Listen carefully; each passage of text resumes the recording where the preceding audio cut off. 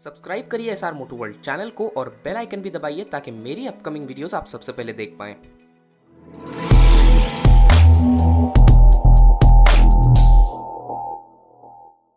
Welcome back दोस्तों, आप देख रहे हैं यसा मोटो वर्ल्ड और फिर मैं आया हूँ एक नई वीडियो के साथ और एक इंटरेस्टिंग टॉपिक के साथ। तो आज की वीडियो में मैं आपसे बात करने वाला हूँ रन इन पीरियड के बारे में या फिर ब्रेक इन पीरियड जिसको बोलते हैं।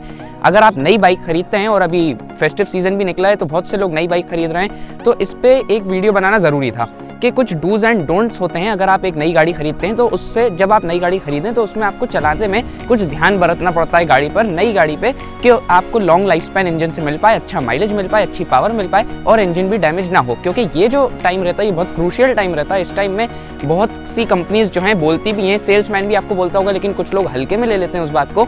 कि थोड़ा धीरे चलानी है, ये सब चलाना है। तो ये धीरे चलाना तो है ही है और उसके साथ साथ और भी बहुत सारी चीज़ें जिस पर आपको ध्यान बरतना चाहिए अगर आप नई गाड़ी चला रहे हैं। ये जितनी भी मैं बात कर रहा हूँ, ये ब्रेक इन पीरियड की बात है, यानी कि ब्रेक इन पीरियड वो पीरियड होता है जब गाड़ी का इंजन नया होता है, चला हुआ नहीं होता, आप उसे नया नया चलाते हैं। फ़र्स्ट सर्विस के पहले का जितना भी टाइम रहता है, वो होता है ब्रेक इन पीरियड तो सबसे पहली चीज़ जो है ध्यान बरतने वाली वो ये है, सबसे कॉमन चीज़ है वो ये है कि सेल्समैन आपको बोलता है गाड़ी धीरे चलाएँ। गाड़ी धीरे चलाने का मतलब ये है कि गाड़ी तो धीरे चलाएँ चलाएँ और इंजन का आरपीएम कम रहना चाहिए। यानी कि ज़्यादा इंजन का आरपीएम आप फुल ना करें फुल थ्रोटल पर इंजन ऑपरेट ना करें, उसमें बड़ी प्रॉब्लम आ सकती है। तो फुल थ्रोटल पर इंजन ऑपरेट नहीं करना सबसे पहली चीज़। दूसरा पॉइंट यहाँ पर यह है कि इंजन जो है ओवरहीट करता है। लोगों के इंस्टाग्राम पर भी क्वेश्चन आए कि इंजन हमारा ओवरहीट कर रहा है नई गाड़ी है। तो जी हाँ ये बात सही है इंजन ओवरहीट करता है नई गाड़ी में क्योंकि पिस्टन और सिलेंडर वॉल्स के बीच में और काफ़ी ज़्यादा जो भी पार्ट्स रहते हैं गाड़ी में गेयर शाफ्ट सबके बीच में फ्रिक्शन ज़्यादा रहता है। उस टाइम क्लियरेंसेज नहीं बने रहते, यानी कि जगह आपस में नहीं बनी रहती। तो जब फ्रिक्शन ज़्यादा होगा तो गाड़ी डेफिनेटली ओवरहीट करेगी, वो कोई प्रॉब्लम नहीं है। ओवरहीट करे, लेकिन ओवरहीट से मतलब ये कहना चाह रहा हूँ मैं कि ओवरहीट होने ना दें उसको। होगी तो गाड़ी डेफिनेटली होगी, जब जगह नहीं है पार्ट्स में फ्रिक्शन होगा तो ओवरहीट होगी। लेकिन आप गाड़ी को लॉन्ग राइड्स पर ना ले जाएँ। सीधा कंक्लूजन ये है कि आप नई गाड़ी को लॉन्ग राइड्स पर ना ले जाएँ। थोड़ा फ़र्स्ट सर्विस हो जाने दें और उसके बाद आप नॉर्मली ऑपरेट इंजन को कर सकते हैं। अब तीसरी चीज़ यहाँ पर यह है कि नया इंजन जो है माइलेज नहीं देता। लोग बड़े कंफ्यूज रहते हैं, लोग बड़ा बोलते हैं कि नया इंजन है माइलेज क्यों नहीं दे रहा? माइलेज तो देना चाहिए। फ़र्स्ट सर्विस हो गई, तब भी नहीं दे रहा। तो माइलेज डेफिनेटली नया इंजन नहीं देगा। वो इसलिए क्योंकि कंपनी कार्बोरेटर को ट्यून करके रखती है इस तरीके से कि फ्यूल ज़्यादा जाए, जिससे इंजन पर लोड ना पड़े और इंजन ओवरहीट ना हो। फ्यूल ज़्यादा जाने के लिए कंपनी ट्यून करके रखती है कार्बोरेटर को। तो आप माइलेज के बारे में अभी फ़िलहाल इतना ना सोचें। फ़र्स्ट सर्विस के बाद जो है, हर चीज़ फ़र्स्ट या सेकेंड सर्विस के बाद गाड़ी में ओवरऑल नॉर्मल हो जाती है। अगली चीज़ ये है कि आप जब भी नया इंजन है आपका, ये तो वैसे आपको लाइफ टाइम के लिए फॉलो करना चाहिए रूल लेकिन नया इंजन है तो ज़्यादा फॉलो करें, इस पर ज़्यादा ध्यान दें। वो ये है कि कोल्ड स्टार्टिंग के टाइम इंजन में वेयर एंड टेयर सबसे ज़्यादा होता है। कोल्ड स्टार्टिंग के टाइम ऑयल जो है वो नीचे सेटल हो जाता है, आप इंजन स्टार्ट करते हैं ऑयल को ऊपर चढ़ने में टाइम लगता है। तो जब भी नया इंजन को आप सुबह सुबह स्टार्ट करें, कहीं जाएँ राइड से पहले पाँच से छः मिनट का वार्म अप ले लें, या दो से तीन मिनट का वार्म अप भी काफ़ी रहेगा इंजन के लिए, कि ऑयल जो है वो ऊपर तक आ जाए इंजन में और उसके बाद कोई वेयर एंड टेयर ना हो। ऑयल ऊपर आएगा तो फिर आपको कोई प्रॉब्लम भी नहीं होगी और इंजन की लॉन्ग लाइफ स्पैन भी बनी रहेगी माइलेज भी अच्छा आएगा पावर भी अच्छी आएगी और इंजन में स्मूथनेस भी बनी रहेगी। अगला पॉइंट यहाँ पर यह है कि आपको टायर प्रेशर गाड़ी का मेंटेन करके रखना है। टायर प्रेशर पर तो हमेशा ही ध्यान देना है, लेकिन जब नया इंजन है और आप चाहते हैं कि आपका इंजन अच्छा चले स्मूथ चले हमेशा से, जितनी भी आपको बाइक चलानी है तो उसमें आपको टायर प्रेशर मेंटेन करके रखना पड़ेगा। जो कंपनी का रिकमेंडेड टायर प्रेशर है, उसको उतना ही रखें या हल्का सा एक दो पी ज़्यादा भी उससे रख सकते हैं। अगर टायर प्रेशर कम होगा यहाँ पर तो होगा ये कि इंजन को ड्रैग महसूस होगा।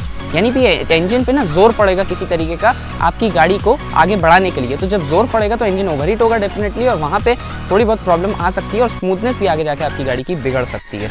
अगली चीज़ यहाँ पर यह है कि इंजन को आप सही आरपीएम पर, सही गेयर पर चलाएँ। हाँ अगर आप बिगनर हैं तो थोड़ा आपको प्रॉब्लम होगी, लेकिन एक बार आप बाइक को चलाना ढंग से सीख लें तो उसके बाद आप चलाएँ, क्योंकि ना आपको नॉकिंग करनी है, ना आपको ज़्यादा रेफ करना है। आपको इंजन को बिल्कुल सही तरीके से बीच के आरपीएम पर चलाना है, जिससे इंजन पर स्ट्रेस भी ना पड़े और इंजन में नॉकिंग भी ना हो तो गेयर आप बिल्कुल सही गियर मेंटेन करके आपको चलाना है इंजन का आरपीएम मेंटेन रहना चाहिए। नॉकिंग होगी तो वहाँ पे भी जो है इंजन में प्रॉब्लम आ सकती है। नेक्स्ट पॉइंट यहाँ पर यह है कि नई गाड़ी लेते हैं तो कुछ लोगों को तो बड़ा ध्यान रहता है अपनी गाड़ी का कि आप ओवरलोडिंग ना करें। कुछ कुछ लोग बोलते हैं ट्रिपलिंग करने से लोग मना कर देते हैं कि हम ट्रिपलिंग नहीं कर सकते।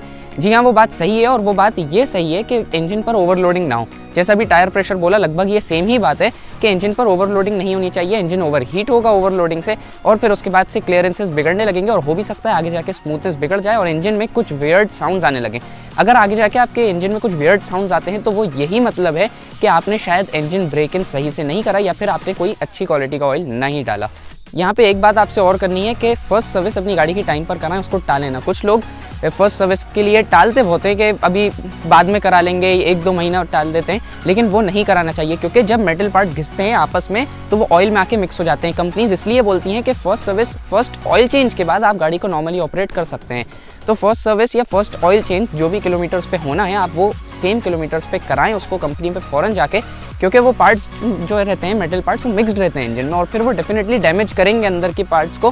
पिस्टन और सिलेंडर वॉल्स के बीच में बहुत कम स्पेस रहती है और वो अगर डैमेज हो गई तो वहाँ से वॉल्व सील्स और पिस्टन रिंग्स खराब हो जाते हैं वेयर एंड टेयर हो जाता है, जिससे ऑयल कंबर्शन चैम्बर में आता है और गाड़ी धुआँ देने लगती है। तो आप बिल्कुल भी नहीं चाहेंगे कि आपकी नई गाड़ी में ऐसा हो।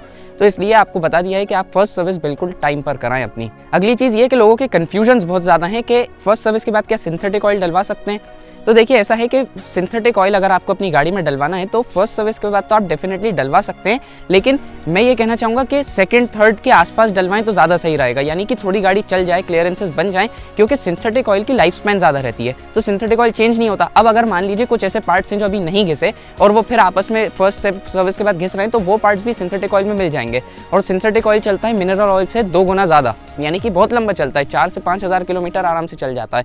तो इसलिए वो ध्यान रखना है आपको कि सिंथेटिक ऑयल डलवा तो सकते हैं फ़र्स्ट सर्विस के बाद, लेकिन सेकेंड के बाद डलवाएँ तो ज़्यादा बेहतर होगा।